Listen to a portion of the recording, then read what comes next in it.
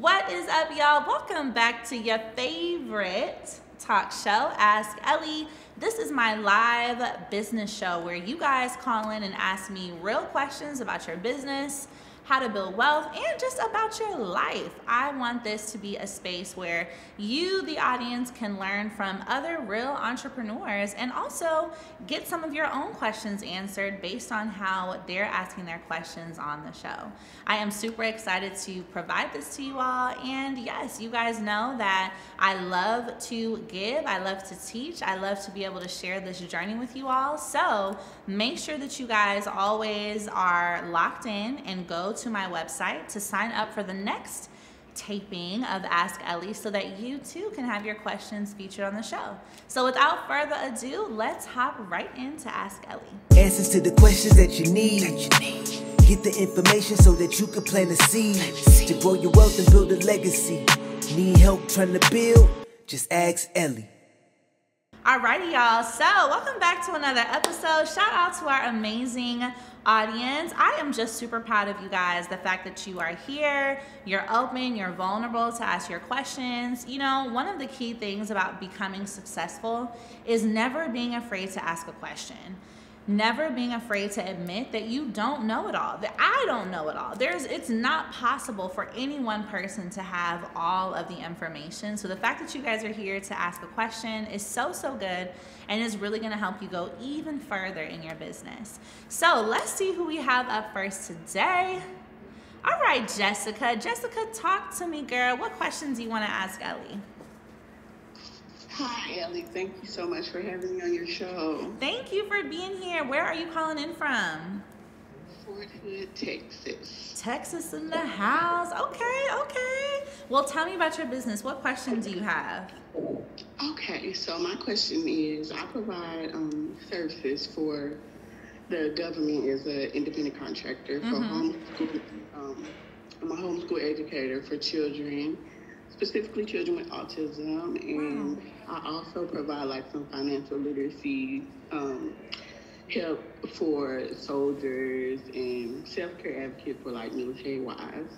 So my question is, I'm the the DoD. They provide me with my own EIN number. Okay. But since I operate like a home based business, do I still have the same benefits as if I had my own LLC? Ooh, so here's what I would definitely say. And Jessica, this is a great question. And thank you for what you do. That is so special that you work with um, children that may be autistic or special needs. R- real heroes don't wear capes, and you are a real hero. So, what I would definitely say is if you don't have an LLC right now, and let me just get clear on that, Jessica, do you have an LLC in this moment? No, okay, girl, sis, everybody, let's hold Jessica's hand. Jessica, you need an LLC, okay? We need an LLC, and that is because all these great things we talk about on Ask Ellie, and if you follow me on other platforms, you know I'm always talking to you guys about building business credit, being able to access funding. You won't be able to do that without an LLC. So we definitely want to make sure that you start there. Go ahead and form the business. So whatever business name you've been currently operating under, make it official and get that LLC. That's also going to help you get a business bank account, which can then help you get access to more funding. Now, I understand that you already have an EIN.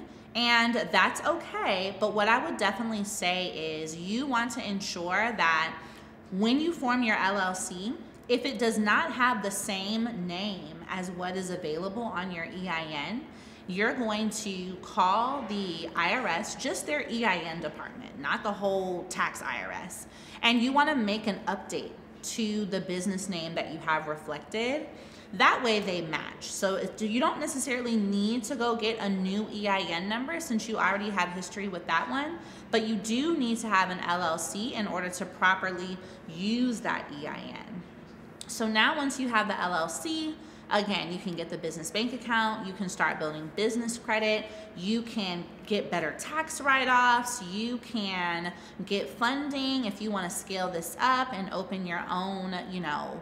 Um, company or rather open your own location. So many things you can do when you actually have that LLC. Um, and also start selling products directly to people. So that's something you want to do ASAP. And I have a few businesses registered in the state of Texas. It isn't too complicated to do there. You can do it right online with their excuse me with their Secretary of State, and it's going to take about two weeks or so for you to get that approved. Now, I want to ask you, Jessica, is there any particular reason why you haven't gotten an LLC yet? No, no, it's just I I wasn't too sure. Okay. I didn't. I've been following you for a while now. Um, so I wasn't. It just I wasn't sure about exactly what I needed to to do, and since I'm technically, you know, employed by the government, I wasn't too sure. Got it, got it, got it. Yes. So, and that's okay, you know, it's good that you're asking the question. And since you are employed, you can still have an LLC as an employee, right? You can still have your own business. You can still go ahead and build business credit that would just make a difference. Like if the government pays you on a W 2, then that would be separate. But when you have your LLC, if other people want to pay you, like if I wanted to hire you, or if someone in our audience wanted to hire you to homeschool, then they could pay you to your business. Okay. So that would be a key thing. That way you have it in two places, and now you're able to make more money because you can still keep your job, but you can also have that business on the side and make that money. So we're definitely excited for you, Jessica, and I'm gonna be following up with you. I'm gonna tell my team to remind me to check in with you and see if you got that LLC by next month, okay? awesome. That's such a good question. And it looks like we've got another amazing audience member. Steph, talk to me, girl. What question do you wanna ask Ellie? Hey Ellie, thanks for having me on the show. You know I'm calling from Orlando. I'm so proud of you. thank you. And thank you for being in here. I'm super excited too. I'm proud of you. Okay. Thank you so much. So my question, I'll make it quick. It doesn't have to be specifically to Black Friday, but when you do your sales, how do you determine what your sales is going to be and what discount you're going to offer, but still remain profitable. And the reason I ask is because as a business that may not be making as many sales as I want to, yes. I still want to get on the bandwagon with the sales, but I also want to make money. So, what's your advice for someone like me? Mm, so you want to be able to take advantage of some of the good sales and buy people's sales, and you also want to have your own stuff on sale. Is that right? Yes, but I, I want to uh, my business. I want to offer sales so that way I can generate more um, income, um, more sales, more audience, and all that stuff. Yeah. Yes, yes, that's such a great question. And you know, Black Friday, you guys, is the biggest consumer spend day of the year and it can feel pretty intimidating as a business owner to you know create something that people will want to buy on this day where so much money is circulating there's literally money in the air on Black Friday. And, you know, my recommendation is this even if your business is new, if it's not making what you currently want it to make, still put an offer out. And what I recommend doing is there may be someone in your audience who's been thinking about buying from you, but he hasn't really been sure. They keep forgetting, you know, something is just limiting them from going through and making that step. But a great Black Friday offer, like a 50% off, literally removes all the hesitation. So, what Black Friday can do, even if you're a newer business, is give you that opportunity to get some of those first few sales or those next few sales because of the fact that it's such a no brainer. That person who was thinking about buying last week but didn't, when they see the offer next time, they're like, you know what, 50% off?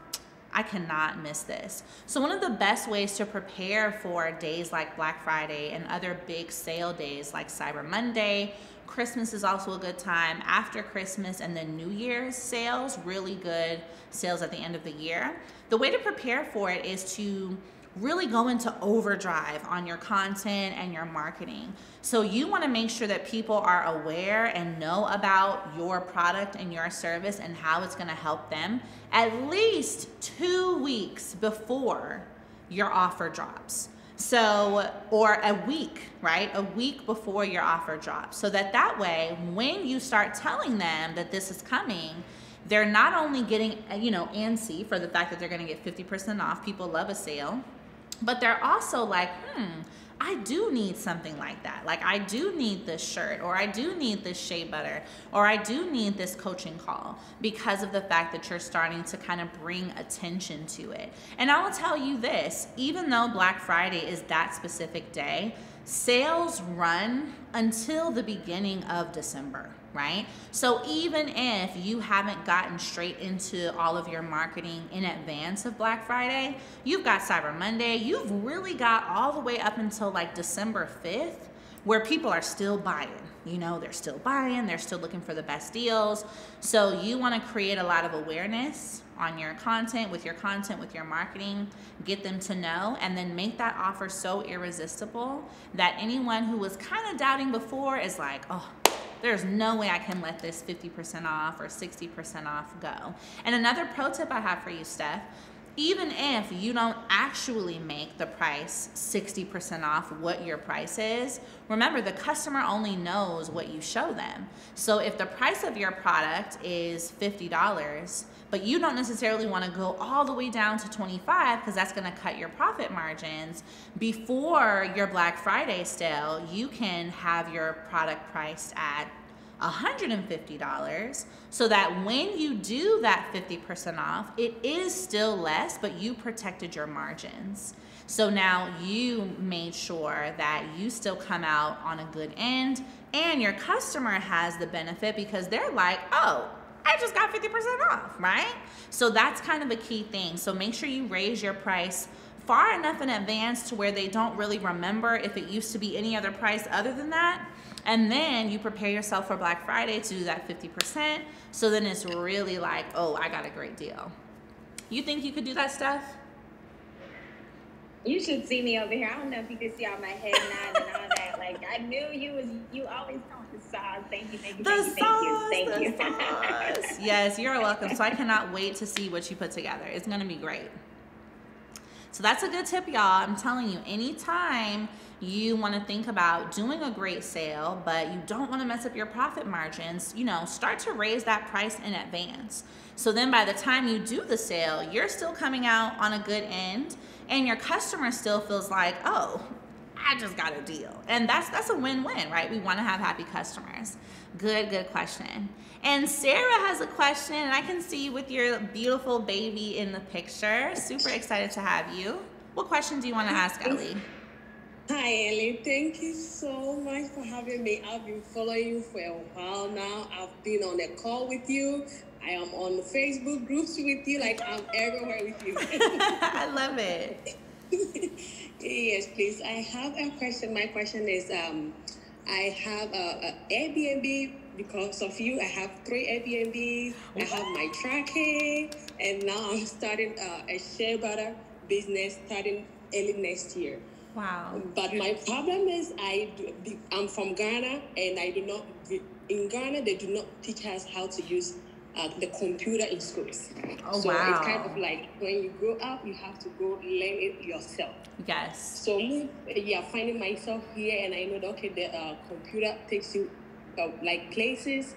How do I start going?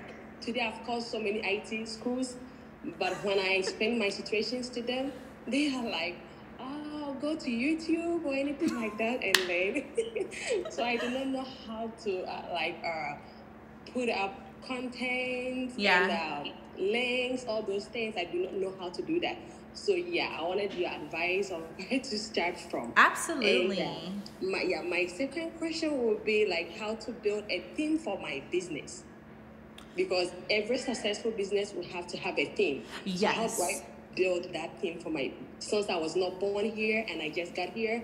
I do not have friends. I only have myself and my husband. So how do I build that team? Yes. Wow, those are such great questions. And congratulations to you on three Airbnbs, the trucking. Oh, that's amazing. That makes me happy. It makes me know that what I'm doing is working, y'all. It's working. People out here winning, so I love it. So that's a great question. And in regards to not knowing how to do, you know, a ton of things on the computer, I can definitely relate. Like I didn't study anything, websites, coding, anything like that in school, just basic knowledge. And I would say for you, a great resource that you can use to actually solve both of your problems. So you mentioned wanting to be able to understand more of how to do things on the computer um, for your business. And then as well, you mentioned having a team. So what I'm gonna recommend to you is to actually hire someone on fiverr.com. Now, the reason I mentioned Fiverr specifically is because it's a lot more affordable. So going out and hiring like a full-time, you know, graphic designer who can set up your flyers, set up your website, do all your links, that can be really expensive. But on sites like fiverr.com or Upwork, you can hire someone for $10 an hour, $15 an hour, or even less. They will charge you just for the specific project. So you might pay $150 for someone to design your website. And guess what? Now you have that website done. And the great thing about it is when those um, contractors do the work for you, you're able to go back to them and say, hey, my business is new, but can you make updates to my website every month for this flat fee a month, right? So you pay them once the $150 to do the site. And then if you say, can you work 10 hours a month updating my site every time I need help and I can also make sure to pay you a hundred or two hundred dollars a month to get that done. And that's only when it's comfortable for you, right? But to get started, to get that first site completed, girl, trade the money for the time. Rather than feeling stressed on how am I going to learn it, go ahead and set aside a hundred bucks Find someone to set up your Shopify store. That's gonna be the best platform for you to use to sell your shea butter and any type of e-commerce product you guys have. Shopify, Shopify, Shopify. So you're gonna go to Fiverr, search for someone to set up your Shopify store. It should cost anywhere between $75 to $150 get that set up and then once you have it now you can start looking at building a team so for myself, I have a graphic designer that I consider a part of my team. I found him on fiverr.com and I use him twice a month, right? And although he's not paid by the hour, every time I need a flyer, it's $35. But I consider that person on my team because that's the only one I reach out to. So you can create that same connection by finding one person to do the specific job and then anytime you need other help with that you go back to that person. Now as you start to scale your business and as it starts to make more money then you can actually hire on sites like linkedin. I would also recommend onlinejobs.ph now this is going to connect you guys with um, employees that are in the Philippines, but I will tell you it's amazing. You get great quality service and it's not expensive. So you can hire an assistant, for example, to do work for you at 20 to 40 hours a week, and that could be $500 a month, which is, well, 40 hours a week here in the US, minimum, you probably have to pay someone 2,000 to $3,000. So this is a huge win and you are able to do that to get that one person on your team. Then, as you make more money, get the next person.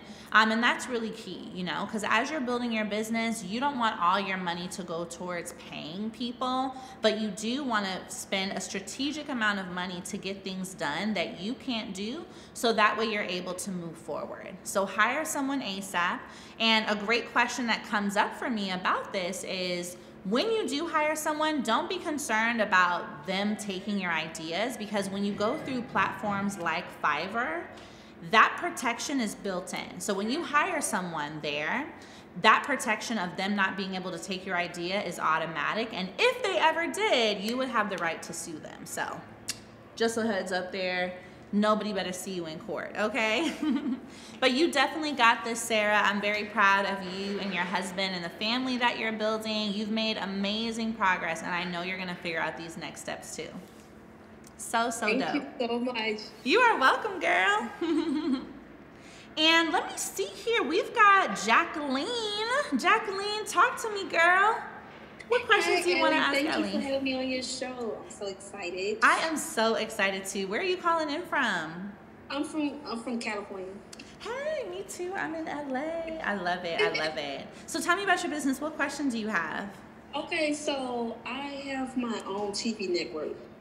Okay, Okay. and I am I am trying to create content for women and my question is how would you create content to attract women to your Instagram and also your YouTube for your own TV network without having any content launch on your network?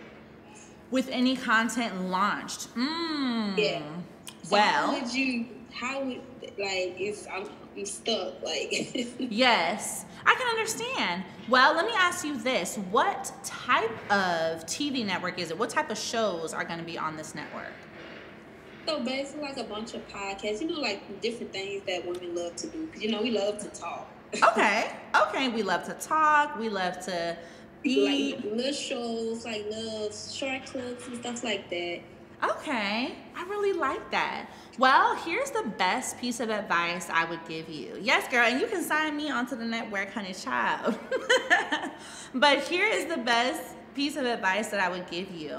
Um, number one, I would say, what you just explained to me about what is going to be on your network, and you said, Oh, you know, women, we love to talk. We want to hear love stories. We love this. That's going to start drawing people in. So even if you don't have the clips yet to show what each show, TV show, is going to be like on your network, you can talk about what's coming and you can say, coming up on, you know, uh, Jacqueline Networks, we are to be having a whole love series. Because ladies i know y'all want to figure out where is this next man at. I know y'all want to understand why is he playing so much. So make sure when the show drops in 2023 or whenever that you're locked in. And that's to get people engaged and excited even if they can't quite see a clip yet you talking about what is coming and you talking about what and why it's going to matter for them is great.